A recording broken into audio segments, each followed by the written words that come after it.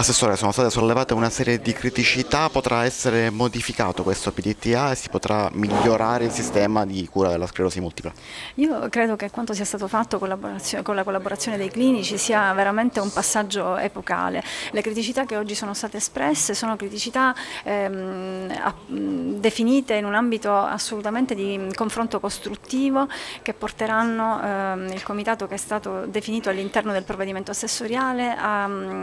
a stabilire stabilire un percorso per il superamento delle stesse. Si tratta naturalmente di una necessità di implementazione continua del percorso diagnostico terapeutico assistenziale, ma soprattutto di una collaborazione sempre più proficua tra i nodi della rete eh, che sono stati individuati e per i quali naturalmente necessitano delle, degli aggiustamenti di tipo organizzativo, eh, per cui mh,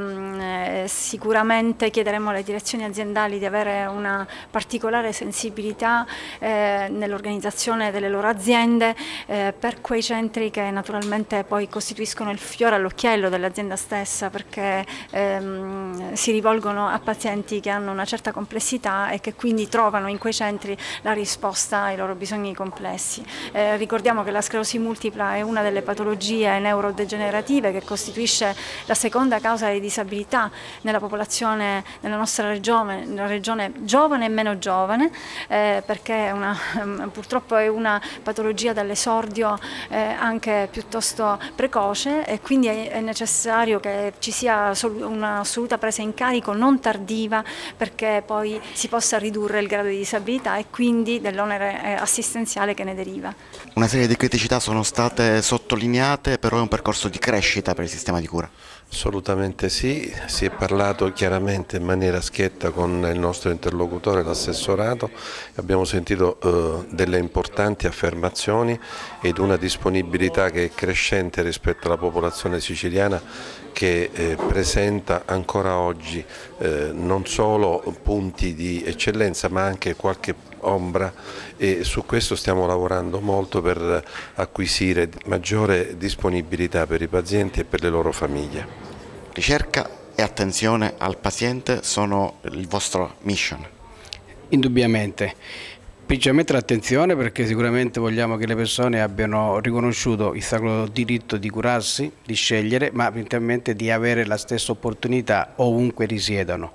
La ricerca perché penso che la Fondazione, avendo finanziato un botto di milioni di euro in, negli ultimi dieci anni sulla ricerca ha fatto veramente la differenza ma ha, ha, permesso che in Italia tutte le sperimentazioni potessero essere portate a buon fine e quindi il paziente della regione Sicilia principalmente non essere penalizzato e aspettare che prima si facessero in altri stati, poi a nord e poi a sud.